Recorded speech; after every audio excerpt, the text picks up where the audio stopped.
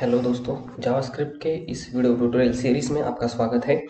आज हम इस वीडियो में जानेंगे जावास्क्रिप्ट के डिस्प्ले एलिमेंट्स के बारे में, ठीक है? तो किन किन चीज़ों से हम डिस्प्ले कर सकते हैं, हमारे वेरिएबल्स के जो वैल्यू होते हैं, या हम जो भी चाहे कैसे डिस्प्ले कर सकते हैं जावास्क्रिप्ट की मदद से, आज हम यहाँ पर देखेंगे, ठीक है? पहले हम देखेंगे कैसे हम इनर एच के मदद से कुछ डिस्प्ले कर सकते हैं। तो यहाँ पर मैं क्या करूँगा पहले एक हेडिंग दे दूँगा। यहाँ पर इनर एच की मदद से हम कैसे डिस्प्ले कर देंगे, ये मैंने हेडिंग दे दिया, ठीक है? पहले हम इसका आउटपुट देख लेते हैं। या उसका आउटपुट है। यहाँ पर इनर एच आ गया है, ठीक है? तो अब हम क्या करेंगे? यहाँ पर एक की टैग मैं दे देता हूँ, जिसको मैं आईडी दे देता हूँ। आईडी दूँगा, यहाँ पर पी वन ठीक है? यहाँ पर पी वन आईडी दूँगा और उसमें मैं कुछ भी डिस्प्ले नहीं करूँगा। तो अब मैं क्या करूँगा? स्क्रिप्ट में जाऊँगा।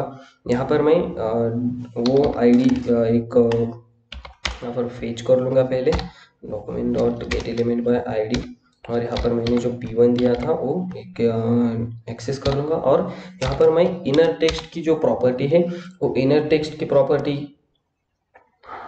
सॉरी मैंने पहले हमें इनर एच देखना है। तो हम क्या करेंगे? इनर एच देखेंगे। इनर एच देखेंगे। इनर एच की जो प्रॉपर्टी है, उसके अंदर हम एच की इनर एच की मदद से हम टैग दे सकते हैं। ठीक है? तो यहाँ पर मैं क्या कर लूँगा पी के अंदर एक एच टू टैग दूँगा।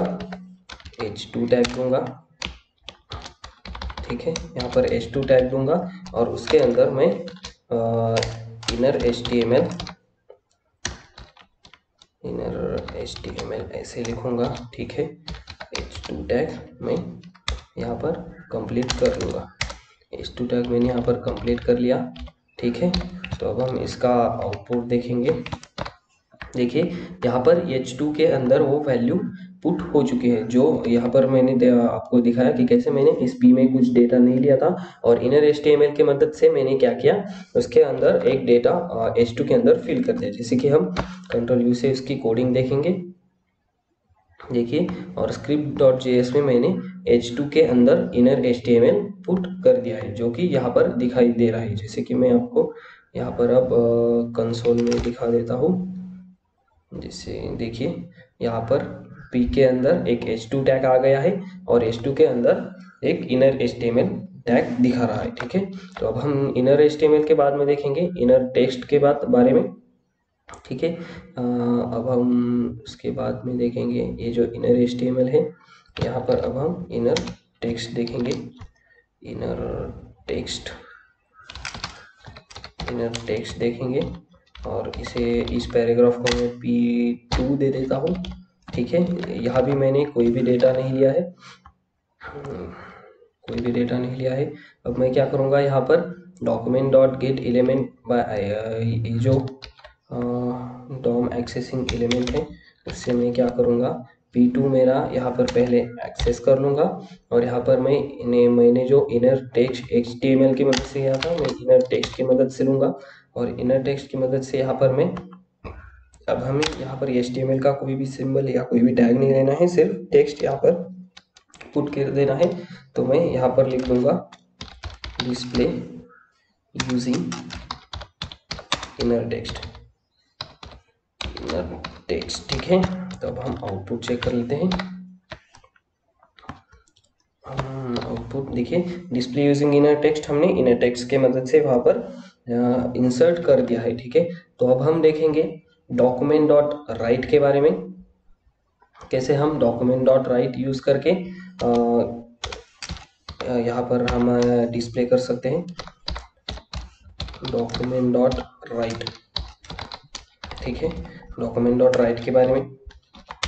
क्या तो अब हम क्या करेंगे? यहाँ पर एक पी दे देंगे। सॉरी यहाँ पर हमें डॉक्यूमेंट डॉट राइट लेना है। तो अब हम स्क्रिप्ट में जाएँगे। स्क्रिप्ट के बाद यहाँ पर हमें क्या करना है? यहाँ पर हम डॉक्यूमेंट डॉट राइट जो होता है, वो हम डायरेक्टली लिखते हैं। डॉक्यूमेंट डॉट राइट ठीक है? डॉक्यूमेंट डॉट राइट जो है, वो हम डायरेक्टली लिखते हैं। यहाँ पर मैंने कोई भी स्ट्रिंग पास कर दी। जैसे कि डॉक्यूमेंट डॉक्यूमेंट डॉट राइट ठीक है? यही स्ट्रिंग मैंने पास कर दी। और हम मोब अब देखिए डॉक्यूमेंट डॉट राइट के बाद ये डॉक्यूमेंट डॉट राइट हमने स्क्रिप्ट टैग में लिखा था।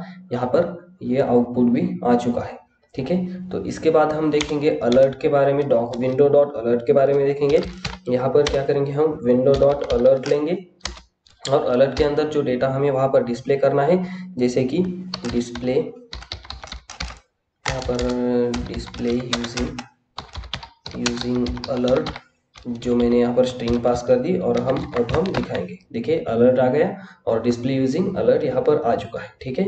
तो जैसे आपने देखा कि हम किन किन चीज़ों से आ, हमारा आउटपुट दिखा सकते हैं जैसे कि इनर एच है इनर टेक्स्ट है डॉक्यूमेंट डॉट राइट है और अलर्ट है। ऐसे ही हम कंसोल पे भी console dot console dot log की मदद से हमारा आउटपुट दिखा सकते हैं। ठीक है? आशा करता हूँ कि आपको डिस्प्ले जावास्क्रिप्ट डिस्प्ले डिस्प्ले के बारे में समझ में आ चुका होगा। मिलते हैं अगले ट्यूटोरियल में। धन्यवाद।